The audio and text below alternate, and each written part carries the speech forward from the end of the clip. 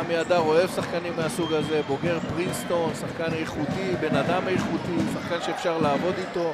אלה השחקנים שרמי אדר מחפש את הקבוצה שלו. הנה גארט עם השלשה הראשונה שלו, וכשהאיש הזה נכנס לקצב,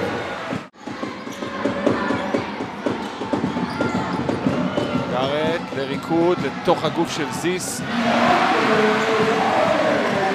אבל גארט לוקח לבד, מחטיא, וזה היה צ'אנס גדול שהולך לאיבוד, אבל עכשיו יוכל שוב גארט, סל בעבירה, קונצרט של האיש הזה כאן ברבע הראשון. אגרסיביות לסל. מצד שני זיס חייב לגלות הרבה יותר אגרסיביות כשהכדור ביד שלו, הוא לא יכול לאבד את הכדור כל כך קרוב לסל אחרי ריבאונד.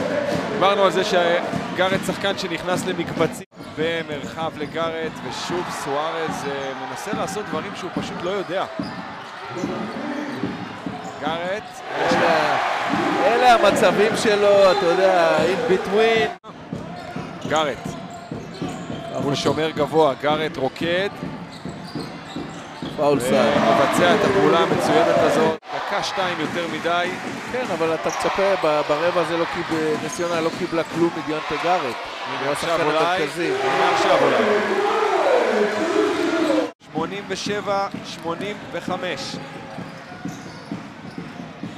גארט עד הטבעת, סל בעבירה, וכמה הוא משחרר כאן אחרי דקות ששום דבר לא נכנס לו.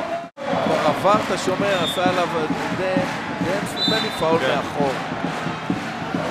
הוא כבר עבר את פרדון, עובר את דנס, ואז הוא מושך לו בכתף.